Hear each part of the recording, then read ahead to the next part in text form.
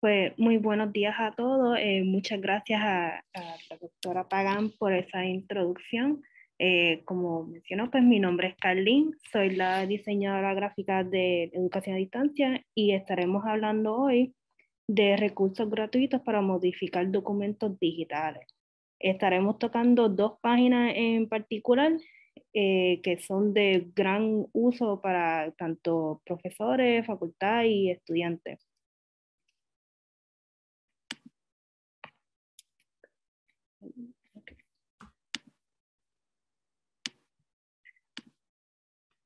La página que estaremos hablando, la primera se llama ilovepdf.com, que es un recurso gratuito con una gran variedad de opciones para modificar documentos PDF o de otros documentos a PDF.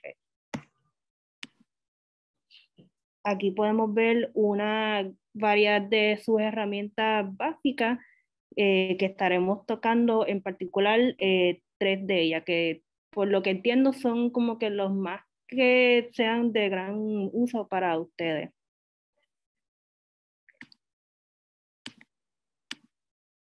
Lo encontramos ahora en la página como tal, van a, lo primero que van a ver es todo esto, la herramienta.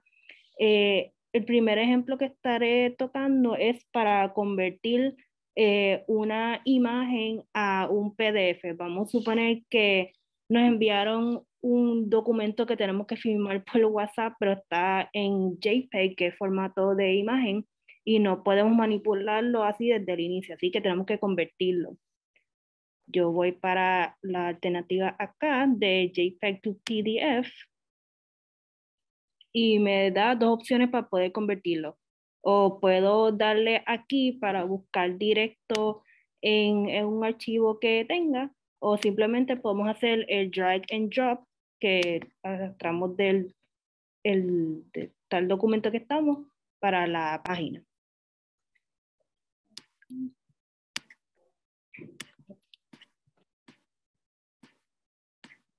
Tengo el JPEG, simplemente lo arrastro y ya me da la opción para convertirlo. Eh, puedo dejarlo eh, portrait mode, que ya tengo el documento como tal vertical, o puedo cambiarlo a landscape, pero pues lo quiero tal como está.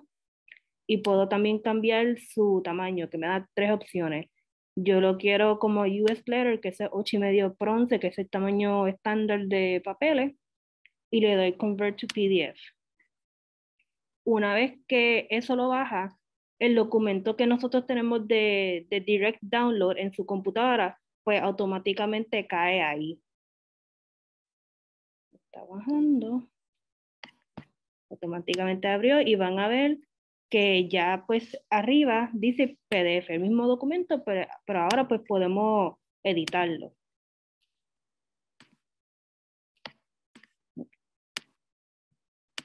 Aquí lo tengo, que ya lo había formateado ya. Ok. Eh, vamos a suponer que ahora ese documento tenemos que firmarlo. Tenemos de todas las opciones el Sign to PDF. Aquí está. Y aquí pues es el mismo formato al inicio. Puedes buscarlo desde un folder en particular o podemos como tal arrastrarlo hacia la página y pues aparece.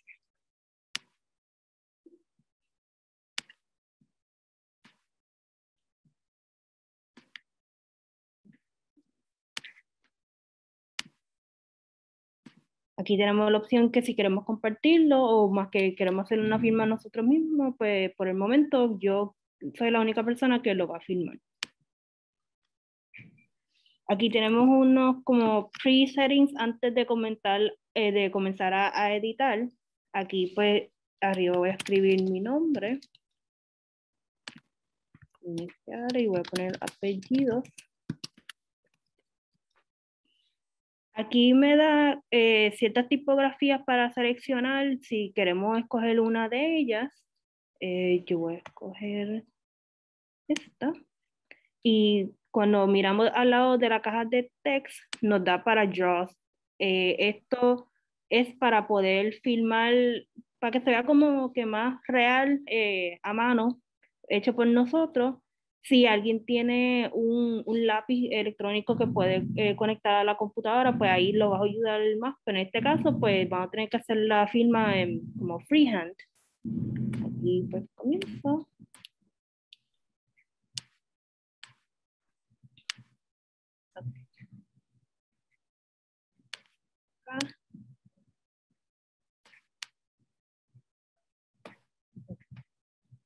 Si tenemos ya eh, nuestra firma en PDF, disculpe, en PNG, que es otro formato que nos puede ayudar para esto y queremos adjuntarlo al documento, pues ahí le podemos dar upload. Ya que no lo tengo, pues yo lo voy a hacer de, de a mano al momento.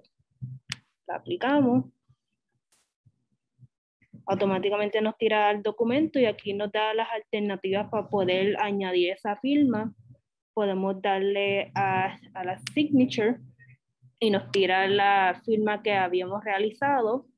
Y si queremos borrarla y comenzar de nuevo, pues le damos X y pues hacemos el proceso desde cero.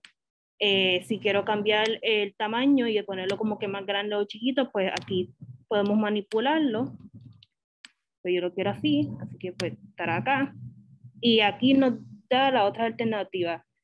Eh, habíamos puesto iniciales aparte y si le das aquí, pues nos tira iniciales. Si queremos eh, poner el nombre como tal en la, en la tipografía que nos había dado para escoger, podemos darle a name y aquí pues podemos cambiarlo y, poner, y ponerlo donde queremos y también nos deja poner fecha. Eh, eso sí, yo me percaté que solo nos deja como que poner la fecha del momento que estamos realizando el documento, no podemos poner como que de, de otra fecha más lejana, pero también podemos hacer eso en, en otro feature que les explicaré luego. poner la fecha acá. Y lo último sería guardar el documento. Le damos sign que tiene y nos da para bajarlo y será igual que ahorita, eh, le damos para bajarlo y baja el PDF en el download folder que tengas en su computadora.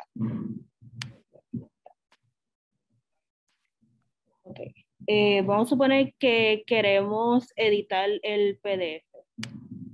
a la página principal y vamos a la alternativa Edit PDF eh, vamos a suponer que queremos editar ese documento eh, y descartar una parte que no queremos, así que pues esta herramienta nos ayuda con eso. Hicimos lo mismo, arrastramos el, el documento y lo, y lo llevó a como tal para editar.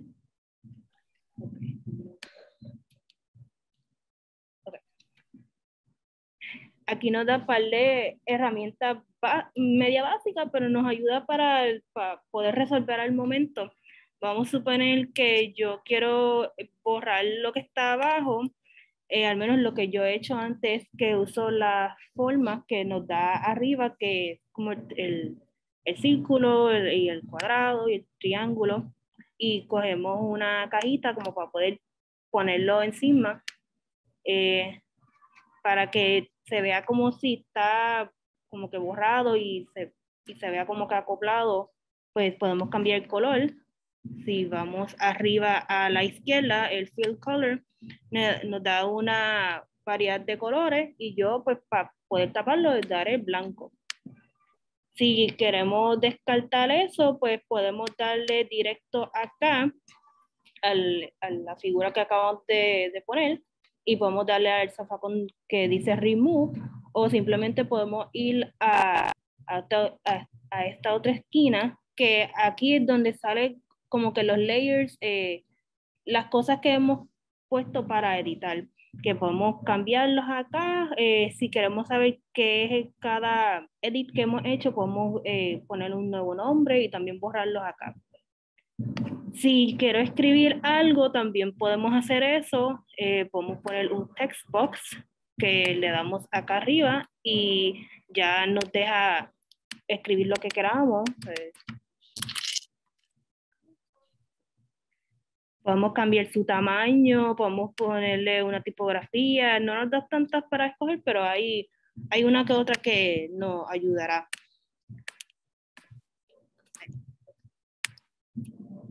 Y lo mismo que ahorita podemos cambiarlo para cualquier esquina que queremos, cambiar el color. Eh, también nos da la opción de poner imagen que si queremos hacer un documento oficial y vamos a suponer que tenemos el logo de, de, una compañía, una asociación estudiantil o algo así, pues también podemos añadirlo. Le damos a Add Image arriba y vamos a buscar la imagen.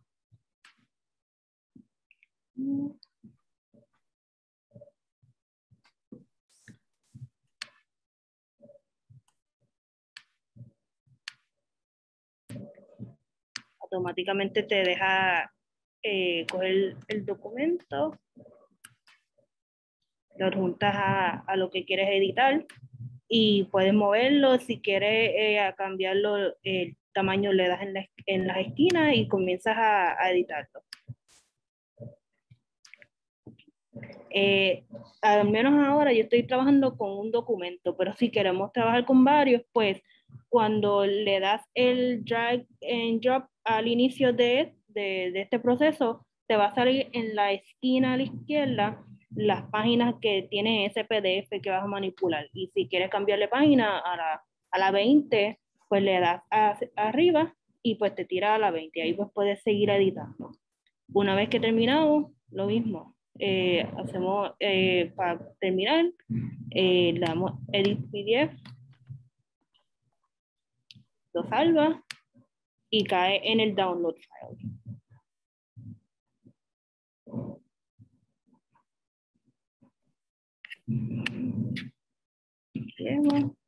El edit que hicimos, ya no está el texto que estaba ahí abajo y le añadimos la, la imagen que queríamos. Okay. Eh, el último eh, ejemplo que quiero mostrarles es el de split PDF. Ese es para dividir el PDF. Eh, si, si, tienes un documento bastante extenso, vamos a poner un escrito y quieres más que imprimir cierta parte, pues en vez de como que especificar a la persona, también podemos formatearlo nosotros mismos desde el inicio. Le damos a split PDF. Lo mismo, podemos buscarlo un folder o podemos ponerlo nosotros una novela que tengo aquí y quiero imprimirlo eh, por fragmento, eh, adjunto el, el, documento y ya nos da para editar. Eh, podemos hacerlo eh, en dos formas. Podemos hacerlo eh, entre cada par de páginas que queremos. Vamos a suponer, ok, em, el libro se compone de 221 páginas y yo quiero dividir de, del 1 al 20 le doy el 20 y ya me cogió de esas 200 y pico de páginas de 1 al 20. Si queremos eh, imprimir otro bonche de ese documento, también podemos hacerlo. Le damos a Add Range y ahí nos divide el documento. Desde donde nosotros habíamos dividido y el resto del documento. Si yo quiero imprimir del no, no sé, del, del, 40 al 221, pues me hará esa división que, que quiero hacer. Una vez que nosotros dividimos lo, eh, los documentos que queremos, pues le damos split. Y lo mismo, al final eh, todo va a caer en ese, eh, ese download eh, document que, que tenga. Lo bajo. Que bien brinquito ahí. Ok, ya que lo bajé en, en, un bonche, pues me lo tira como un documento. Así que yo cojo este folder. Vamos, vamos por acá.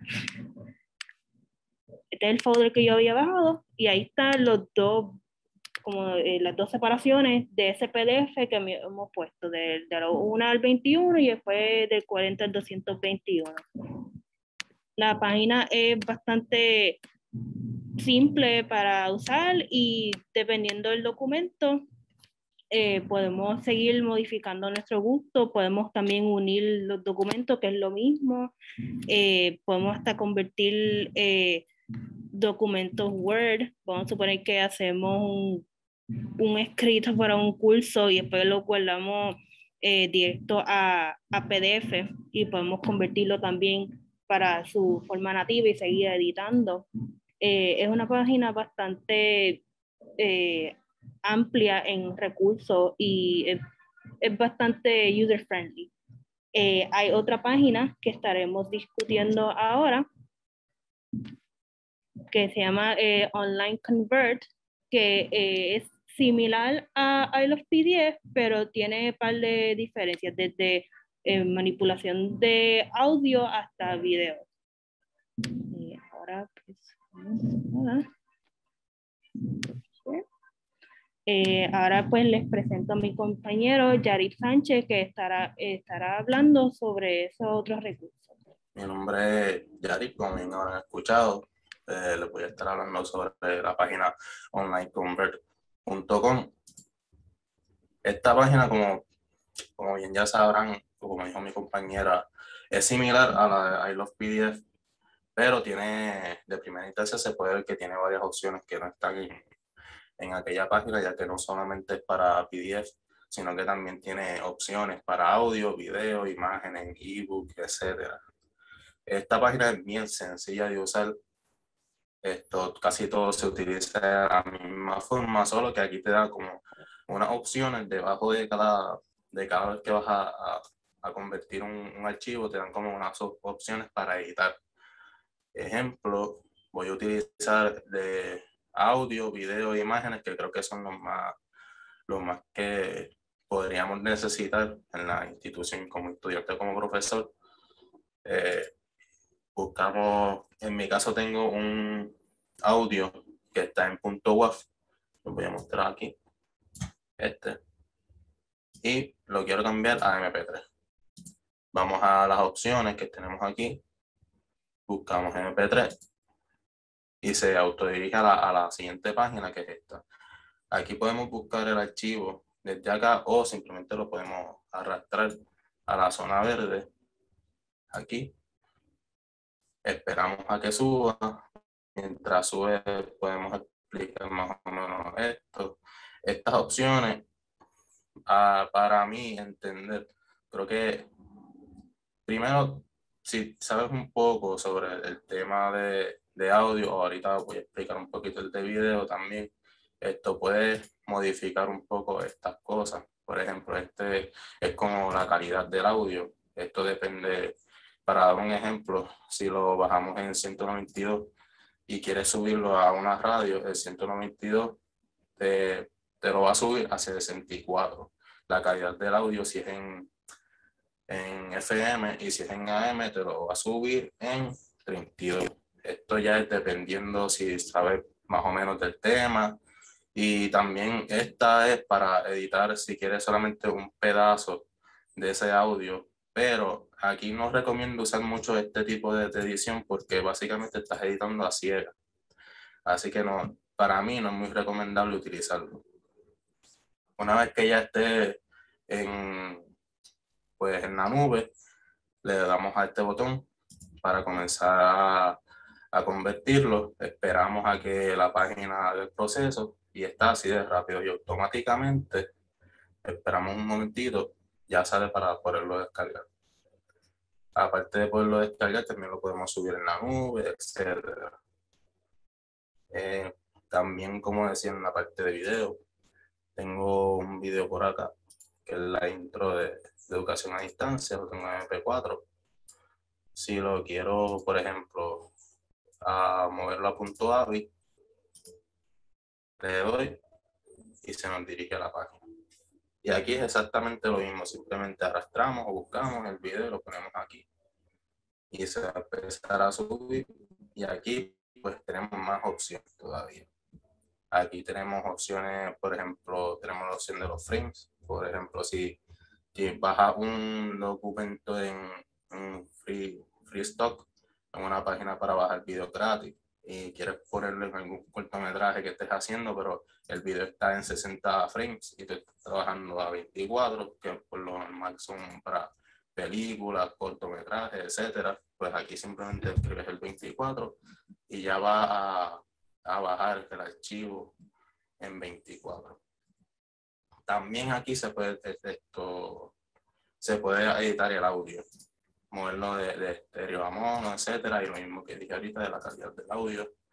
Y esto dependiendo también de, de este de acá, que estas son más o menos como, por ejemplo, esta que dice H.26, esta. Esta es para MP4, pero eso no es lo que queremos, así que lo dejamos aquí. Este es para el puntual. Y simplemente tenemos que esperar, no lo voy a dejar completo porque me va a tardar pues, esa cantidad de tiempo, porque el video pesa un poquito más que el audio, etcétera. Pero es exactamente lo mismo, simplemente se la da aquí y ya te da, te da la opción para poderlo descargar. Y otra cosa también que tenemos es de imágenes. Seleccionamos aquí. Tengo una imagen en JPEG. Vamos a pasarlo a PNG. Y también lo mismo. Tengo una imagen de JPEG para cambiarla. La sube. Y aquí te dan otras opciones. En estas opciones como para ponerle unos cuantos efectos para ponerlo en blanco y negro, en negativo. Eh, también aquí esto es para la calidad, para comprimirlo, para que pese menos, o si quieres mantener la calidad, le puedes dar aquí. Estos son los 6 de los píxeles, que ahí sí, si ya sabes más o menos de fotografía y de cómo esto, de la cantidad de píxeles de cada foto, o para imprimirlo también, pues puedes colocar esto el número de píxeles etcétera, pero ya como, como dije ahorita, para mí es mucho mejor buscar un programa de edición como tal que editarlo aquí. Porque aquí básicamente estás editando así y pues no estás viendo lo que estás haciendo. Pero es exactamente lo mismo, le da y esperas un momentito a que, a que la página haga el proceso de convertirlo y podrá descargarlo.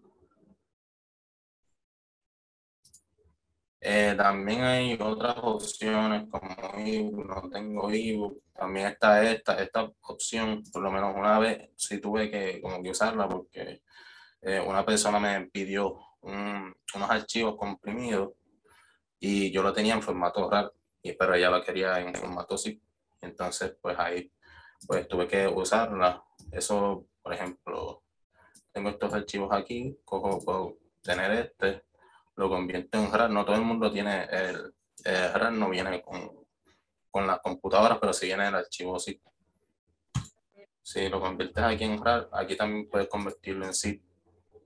Por ejemplo, vamos a Centu y aquí ya te sale para convertirlo, pero no se puede como que pasarlo de RAR así.